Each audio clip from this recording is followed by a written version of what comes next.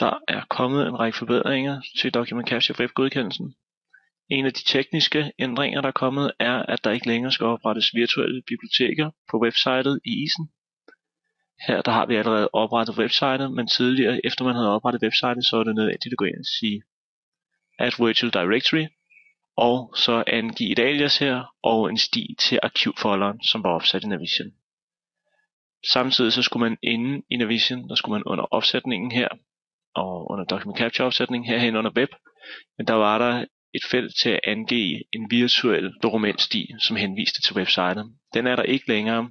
Til gengæld så skal man sørge for, at den bruger, som er opsat på application poolen på isen, har læseadgang til det bibliotek, der hedder sti til pdf-filer.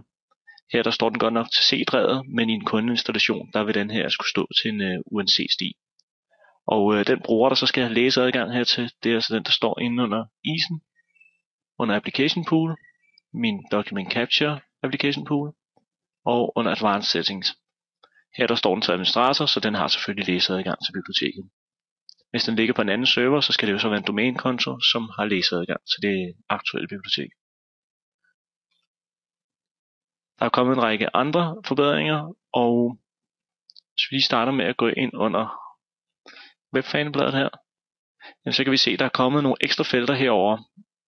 Den ene mulighed, der er kommet, er at få vist beløb i regnskabsvaluta på dokumenterne ude på websitet. Og øh, valgmulighederne her er aldrig at få vist beløbene i regnskabsvaluta, det vil sige, det bare vil stå i købsvalutaen noget. Altid få vist regnskabsvalutaen, det vil sige, der vil være ekstra felter, selvom regnskabsvalutaen er den samme som købsvalutaen, eller kun at få vist beløbene i regnskabsvaluta, hvis de er forskellige for købsvalutaen. Og vi kommer tilbage til lige om et øjeblik, hvordan det så ser ud. Vi har også mulighed for at få vist eller få skjult typefeltet, det vil sige om det er finans, vare eller et anlæg. Og det er blevet muligt at angive, hvor vi vil se dimensionerne på linjerne. Vi kan vælge at få dem vist før antal, det som det er i dag, eller efter beløb. Det kommer vi også tilbage til. Så hvis vi går ud på websitet og ser, hvordan et dokument ser ud med den nuværende opsætning, kan vi gå ind på den her Dansk Møbelcenter. Heroppe i hovedet, der ser tingene ud, som de plejer at gøre. Nedenunder kontering ser de faktisk også ud, som de plejer at gøre. Så det vi kunne prøve at gøre nu, det var at gå ind og ændre på opsætningen. Og vi kunne vælge, vi skal ikke have vist typen, og vi vil godt have vist dimensionerne efter beløbet. Således. Så hvis vi lige ser på websitet, inden vi restarter application poolen, så kan vi se, at dimensionen afdeling afdelingen står her, før antal, og vi har et typefelt herude. Så det jeg gør nu, det er at jeg lige går ind og recycler min application pool. Således. Og så opdaterer vi lige sitet her.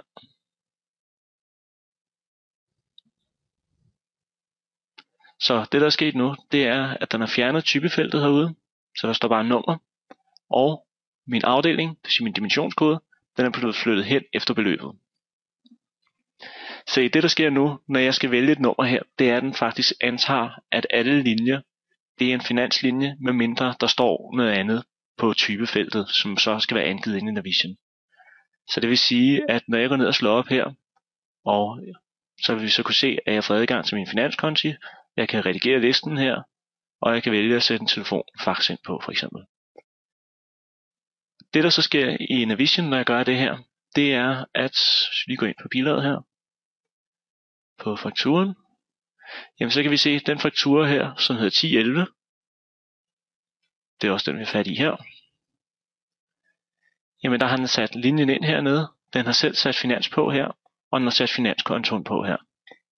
Så det vil altså sige, det som sejlet gør, det er, at hvis man går ind og vælger en finanskonto på en linje, hvor der før var blank, jamen så sætter den selv til finans, og så sætter den så nummeret her i.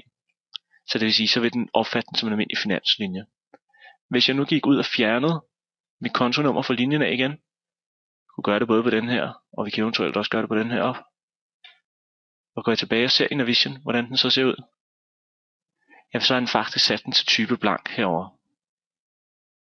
Igen, hvis vi går ud og sætter finanskontonummer på, andre EDB-omkostninger, software, et stykke, 25.000. Således. Så har den igen sat det til finans hernede. sat nummeret på, antal og beløb.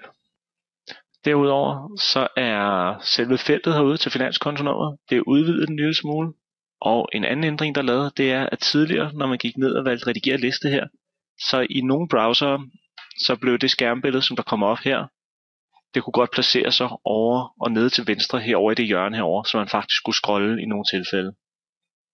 Så det er en fejl, der er blevet fikset, så nu altid centrerer det på skærmen. En anden tilføjelse, der er blevet lavet, er, at heroppe under sprog, der har vi nu mulighed for at vælge dansk, engelsk Storbritannien eller engelsk United States. Og der er en lille ændring på de to her, og det har noget at gøre med datorerne. Hvis vi ser her, når vi vælger engelsk GB, så ser vi, så har vi datoerne med dag, måned, år. Men går vi ind og vælger engelsk US, så vil vi kunne se, at det ændrer sig til måned, dag, år. Det samme gør sig gældende over i søgningen af dokumenter, hvor vi også herover vil se det i den formatering. Så vi ændrer på den her. Så hvis vi prøver at gå ind og se på det her med regnskabsvalutaen, nede under opsætning, vis beløb i regnskabsvaluta, ja, hvis de er forskellige for købsvalutaen, så kunne vi gøre det, vi lige gik ind på en købsfaktura, og vi kunne tage den her, og vi kunne gå op og ændre valutakoden på den her, vælge euro. Således kunne vi gå ned og sætte en pris på her.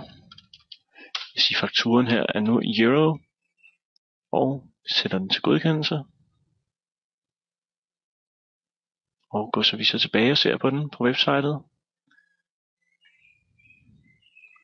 Vi vælger dansk. Jamen, vi kan se, at den står her i euro, og går vi ind og ser på den, ja, så får vi så en ekstra linje op hernede, hvor der står, at det beløb heroppe i euro, det svarer til det beløb hernede i regnskabsvalutaen, som er danske kroner, eksklusiv moms og inklusiv moms.